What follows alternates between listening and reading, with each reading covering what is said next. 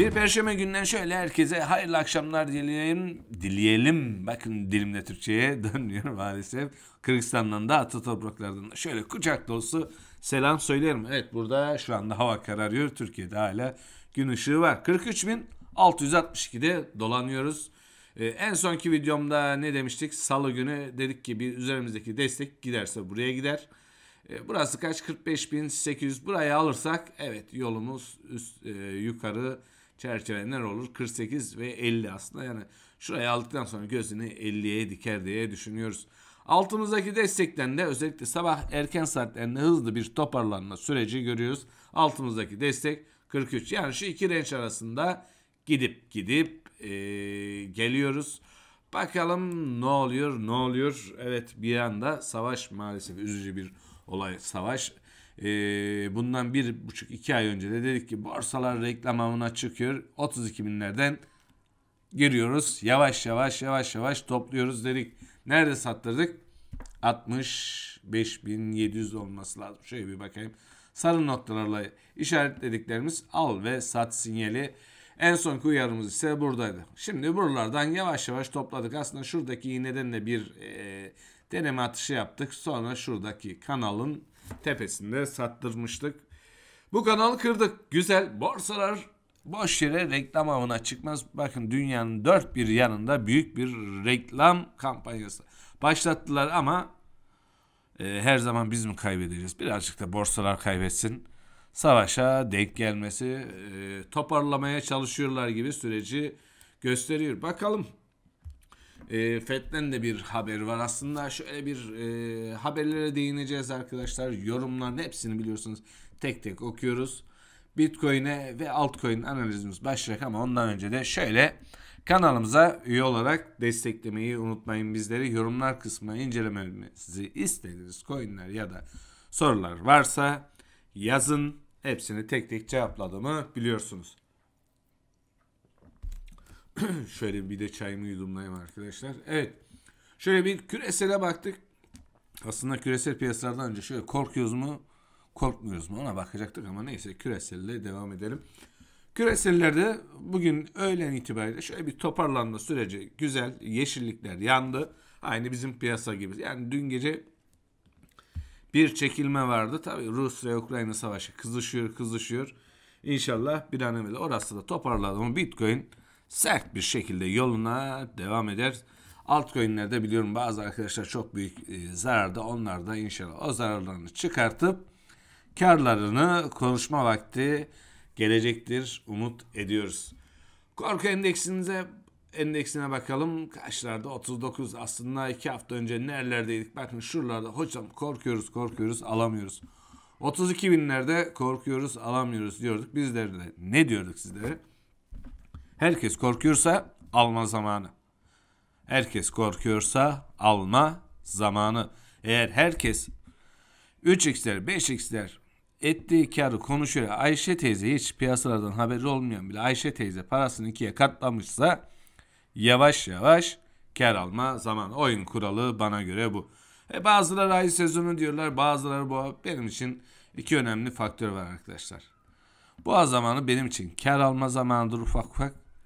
Ay sezonu bazı arkadaşların tabiriyle benim için toplama zamanı. Yani bu çerçevede baktığınızda kazanırsınız. Ay sezonu geldi diyor. Ay sezonu herkes korkuyor. Almaya korkuyor, almaya korkuyor.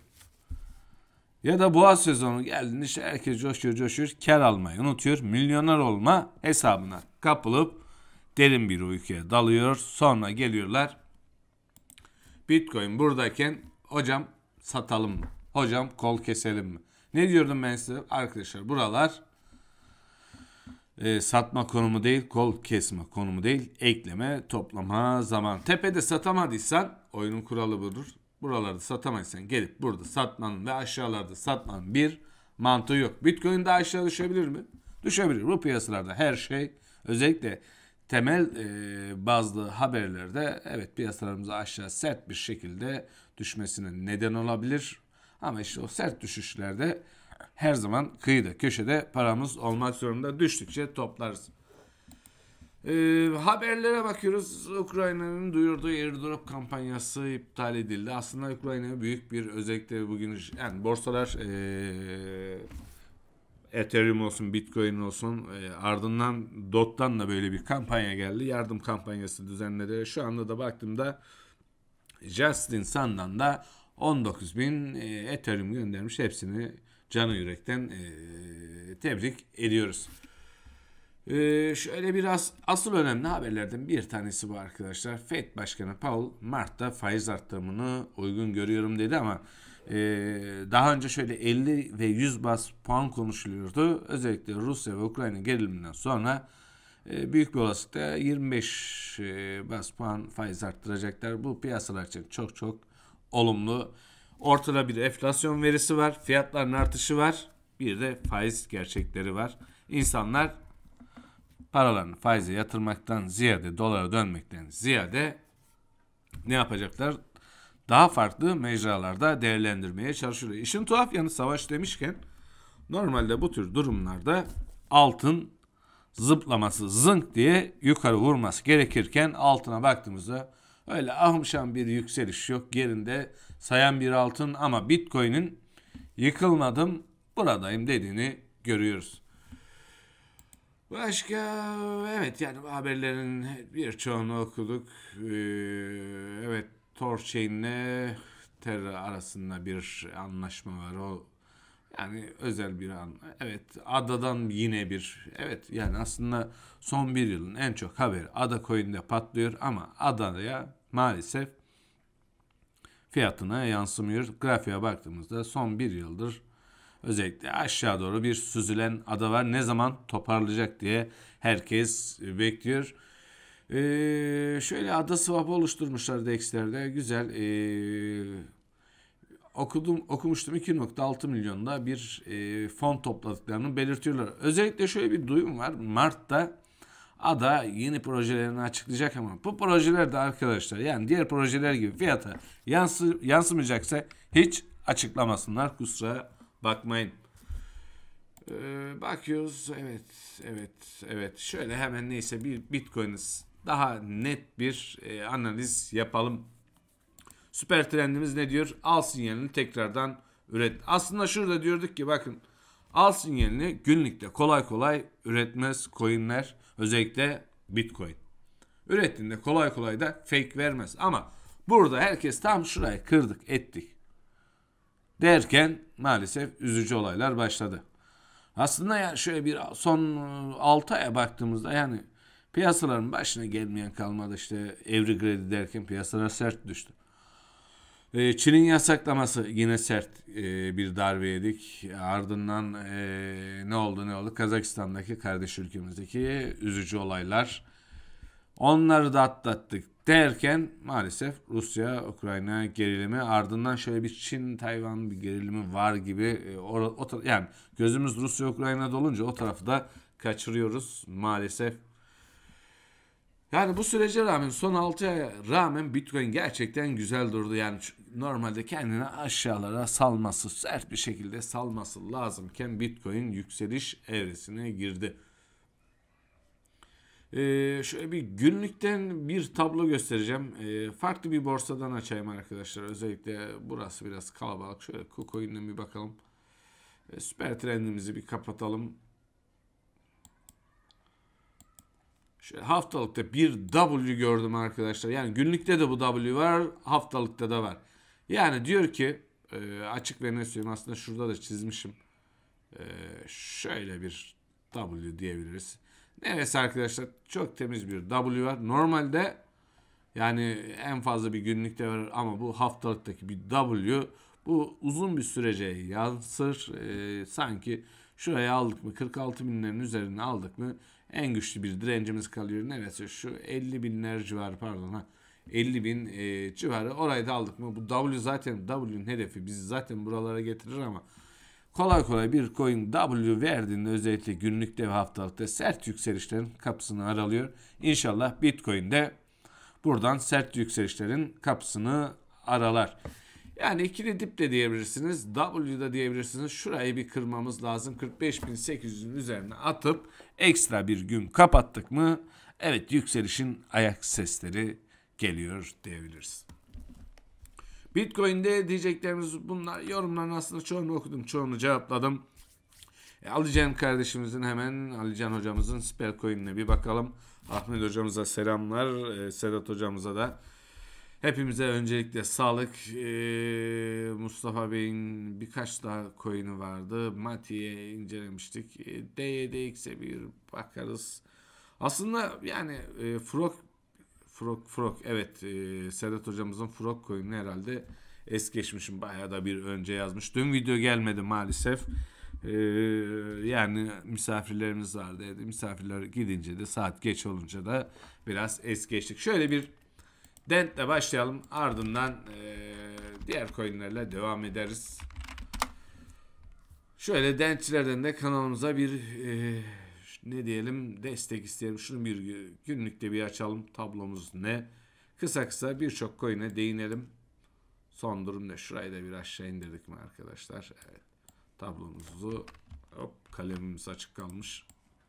Tablomuzu şöyle bir ortalayalım. Ne yapmaya çalışıyor? Yani en son dediğimiz şey tablo şu. Burası e, yani şu iki renk arasında gidip gidip geliyor gibi. Şurayı bir kırarsak bakın kaç burası? 27. Burada da bir güzel bir yatay bir süreç vardı derken 34 binleri ben size işaret ettim. Orada kar alınacağını söyledik. Şu düşen trendi kırdık. Kırdık ama e, yani Bitcoin bir aşağı bir yukarı yaparken maalesef Dent de biraz geri çekilmiş.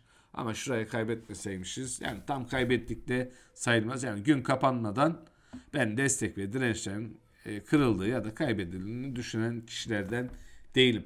25'in üzerine atacağız. Ondan sonra şurayı aldık mı kaç burası?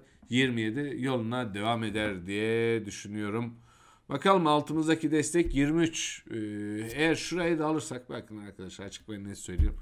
33'e aldık mı çok güzel temiz bir W gelir. Bu W da bizi götüreceği yer 47-26 bandı. Bu sefer 34'ü kıracak mıyız hocam? Geçen sizi dinlemedik diyenler vardı. Ee, yani bilemem arkadaşlar. Daha oraya e, birkaç adım daha var. E, yani bir bu hafta olur mu zor gibi gözüküyor ama biliyorsun bizim piyasalarda hiçbir şey imkansız değildir ama Arasay bir 50'nin üzerine atması lazım. Süper trendine bir bakalım. Süper trendimiz hala sat al sinyalini nerede üretiyor? Yani aşağı yukarı 31 bandında üreteceğini gösteriyor. Arasayında günlükte bir uyumsuzluk e, yok. Yataya bağlamış hafif şöyle bir 50'nin üzerine kalıcılık sağlayamadı. E, den inşallah orayı da alır. Yani 50'nin üzerine çıkar güzelce yoluna devam eder diye düşünüyorum. Bizim strateji ne diyor? Yani hala sata dönmemiş. Bu güzel. Ee, en son nerede al sinyali vermiş? Tam şurada vermiş arkadaş. Yani buralarda al sinyali üretmiş. Güzel bir kar oranı vermiş al sinyalini üreterek. Diyeceklerimiz bunlar hemen şöyle desteklerini şöyle söyleyelim. Yani bir formasyon yok arkadaşlar. Yani gelirse bir W gelir. W gelin yani şurayı kırmasıyla 33-34 bandını kırmasıyla W buradan nereye götürür bizi? Aşağı yukarı. Ee, yani 47 bandı olabilir ama ben şuralarda bir kar alırdım. Yani isteyenler 44 bandında. Tabi e, o gün bugün mü? Değil arkadaşlar. Bir Bitcoin şöyle bir e, çok sert hareketlerden ziyade stabile bağlaması lazım. Birçok arkadaşlardan yorumlar var. Hocam e, Bitcoin yükseldi ama altcoin'ler öyle sert bir yükseliş yapmadı. Evet Bitcoin sert e, yükseldiğinde altcoin'ler bir Bitcoin'in hareketinin tamamlanmasını yataya bağlamasını beklerler. Ondan sonra sert hareket yaparlar. Ama düşerken kusura bakmayın Bitcoin'den önce düşerler yani. Bitcoin atlıyorum demeden ağız çıksın ağzından altcoin'ler tapatak yani e, minarenin tepesinden kendini aşağı atıyor maalesef. O yüzden de diyoruz ki major coin'lerde biraz e, yatırım yapmanızı tavsiye ediyoruz. E, Dent'ten sonra hangi şöyle bir ha, Spell, Spell, Spell'e bir bakalım. Spell bir ara şöyle güzel bir hacim geldi ondan sonra duraksadı. Yani e, bu Spell'i aslında şu Kazakistanlı arkadaşlarımız da vardı. Murat Bazarov'a en sonunda privet kaç lira falan zıdara yani şey selam göndermişti. Biz de ona selam söyledik. Ee, o sormuştu. Da o zamanlar buralardaydı. Arkadaşlar dedim bakın yeni çıkmış. Evet farklı borsalarda daha eski olabilir ama benim için büyük borsalar önemli. Bu büyük borsaların en başında da kusura bakmayın. Ee, Binance geliyor. Ee, dikkat edin dedik. Ee, yataya bir bağlama süreci varmış gibi. Yani işin güzel yanı şöyle bir e, yani ileride olur da şöyle bir çanak oluşturursa burası biraz yataya bağlamış. O yüzden belki dipler yavaş yavaş geldi diyebiliriz. Şuradaki düşen trendi kırdı. Evet e, bir yükseliş yaptı ama öyle ahım şam bir yükseliş yok. İnşallah şu düşüşünde e, yani son buldurur artık yatırımcısı varsa da onların da yüzü güler diye düşünüyorum. Yani şu coin'in yatırımcısı olmak istemezdim. Kaç? E, 23 yani 20 liranız olmuş. Kusura bakmayın 4 lira e, baya bir e, zarar yazmış. İnşallah daha da fazla zarar yazmaz. Yani ben olsaydım şuranın bir kırılmasını beklerdim. Neresi arkadaşlar? Ee, yani şöyle söyleyeyim. 57 bandı 57 bandına dikkat. Yani burada da bir al sinyali üretir günlükte. Şurada bir al sinyali üretmiş yani süper trend al sinyali üretir demek istedim. Bizim ikili stratejimiz yani burada bir al sinyali üretmiş ama e, Arasay çok diplerde yani dibin dibinde yani arkadaşlar Arasay açık ve net söylüyorum. Şöyle baktığımızda evet Arasay dibin dibinde e, yani biraz artık kendini yukarılara atması lazım. Aslında şöyle bir uzun tabloda baktığımızda hafta olsa bir uyumsuzluk var ama şöyle haftalığa bakalım. Ne diyecek haftalıkta? Şöyle haftalıkta ara sayımız bile oluşmamış. Yani net bir şey diyemem arkadaşlar. Yani bu coin ilk önce bir dili şöyle bir yataya bağlasın. Ondan sonra değerlendirmek ee, daha mantıklı ama daha nereye kadar düşecek? Yani sağlam bir e, düşüş yaşamış 25 liramız olmuş 4 lira. E, hocam buradan daha fazla aşağı düşmüyoruz demeyin. E, biliyorsunuz dibin dibi de vardır. İnşallah ama şuralardan bir destek gördüğünü görüyoruz. 38 bandından sıfırları söylemiyorum siz eklersiniz. E, yani şurayı bir almasını beklerdim işin açık ve net. E, yani 58 bandının üzerinde bir ekstra bir mum evet yataya birazcık bağlamış deriz. Ondan sonra e, yoluna devam eder diye düşünüyoruz. Şöyle bir şey çizebilir miyim? Haftalıkta bir şey gördüm de. Yok yani bir şey çizemiyoruz arkadaşlar. Yani net bir düşen kanal ya da bir şey söz konusu değil. Diyeceklerim bunlar spelde. Ee, başka bir formasyon yok. 4 saatliğinde kesin bir uyumsuzluk var mı diye şöyle bir bakalım. Ee, yani aslında Şöyle baktığımızda yani şu tepeden şu tepeler daha yüksek. 4 saatliğinde uyumsuzluklar aynı günlük tabloda olan gibi. Diyecek bir şey yok. İnşallah şu speldeki yatırımcılar da zararını çıkartır diye ümit ediyoruz. Sonra sonra sonra evet Murat Bazarov dediğimiz Rusça yazmış burada. Ee, Krim'i incelemiştik Murat Bazarov için. Neyle devam edelim? Ahmet Hoca'nın otu ne yaptı? Ee, evet şurada bir direncimiz vardı. Orayı kırdık ettik derken Bitcoin'in dün gece hafiften geri çekilmesiyle 46 binlere doğru bir geri, şey 46 bindeki e, aslında tam da kırmamışız. Yani ekstra bir mum görmediğimiz sürece kırıldı anlamına gelmez dedik. Nereden üretiymiş? Yani şuralardan üretiymiş 46-96. Biz ne demişiz? 46-45. Ee, geri çekilme nereye kadar olur? Gelirse şuralara doğru bir 43'lerde e, bir e, yani alım noktası olur. Burayı fırsat değerlendirecek olanlar olmuştur. Ee, şöyle bir baktığımızda 4 saatte bir ufak bir düşen trend var. Orayı kırmış. Bakalım şurayı bir alacak mıyız? 46'yı alırsak önümüzde geniş bir alan var. Yani şuranın bir üzerine atması lazım.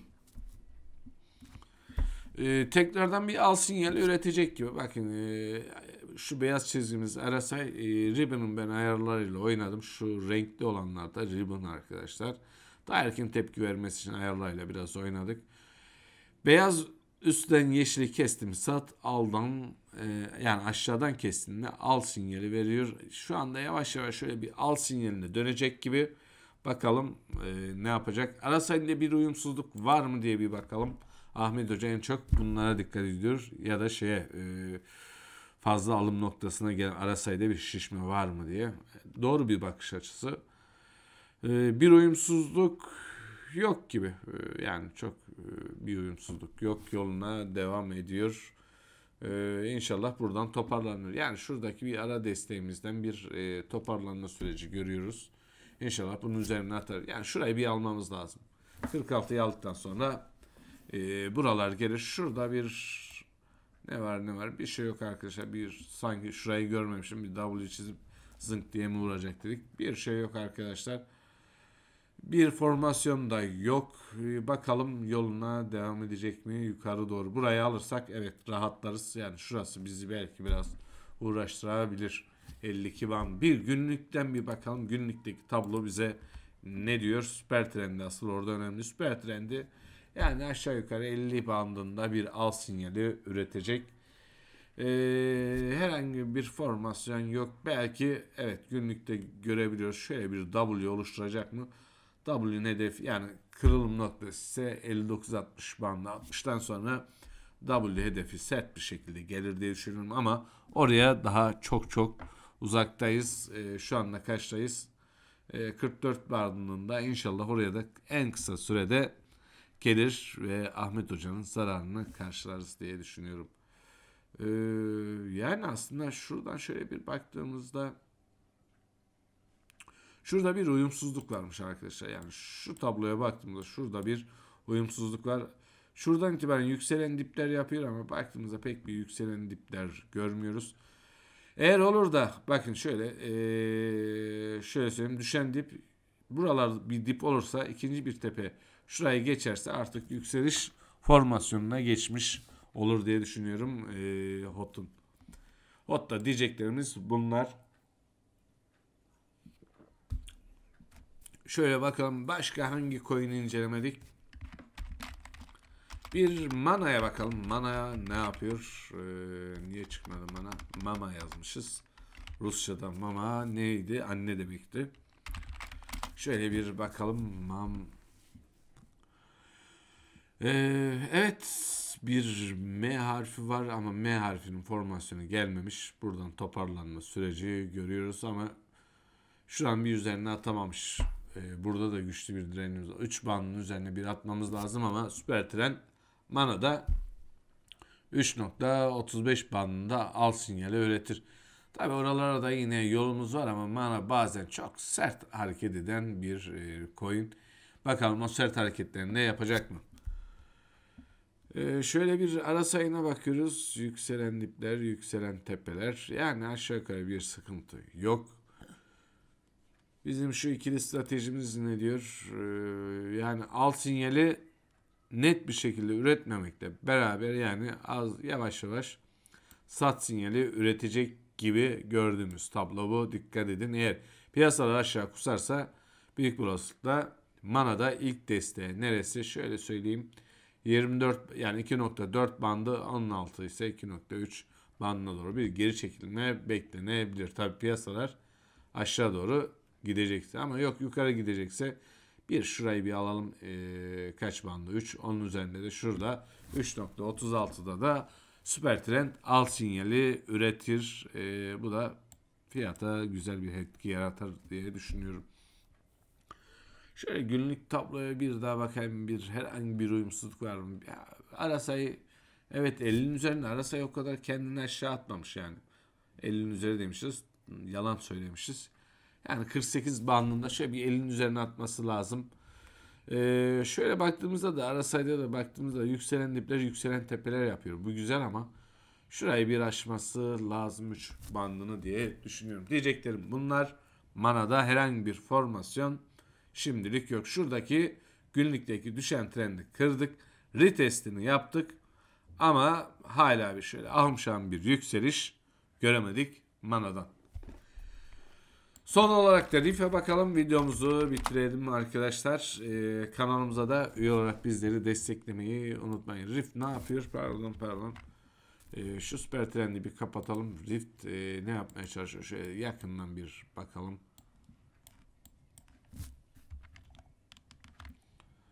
Evet. Yani e, şurayı kaybetmemesi bizim için önemli. E, kaç 93 bandı e, nereden üretiyor? Yani şuralarda çok uğraşmış e, 100 bandında. Bakalım burayı alacak mıyız? Yani tam üzerinde ekstra bir mum kapatamamış. Rift'te gerçekten e, büyük bir zararı olan arkadaşlar var. Nerelerden düşmüş? 32 bandından e, yani paranızın 3'te 2'si gitmiş kalmış 3'te biri. İnşallah bu zararı kısa bir süre sonra yatırımcılarına çıkartır diye düşünüyorum. Bakalım yani benim için e, Rift'te yani şu bandın kırılması benim için tek önemli direnç burası arkadaşlar. 13 bandı sıfırları söylemiyorum. 13 bandını aldık mı bana göre sert e, hareketlerin başlayacağı zaman gelir diye düşünüyorum. Rift'te gördüğüm durum e, bu herhangi bir şeye baktığımızda günlük tabloda şimdilik bir uyumsuzluk yokmuş gibi gözüküyor ama şöyle bir baktığımızda bakın aslında günlükte de bir uyumsuzluk var. Yani şöyle bir yükselen dipler yükselen tepeler yapıyor ama fiyata baktığımızda yani bir yataylık söz konusu.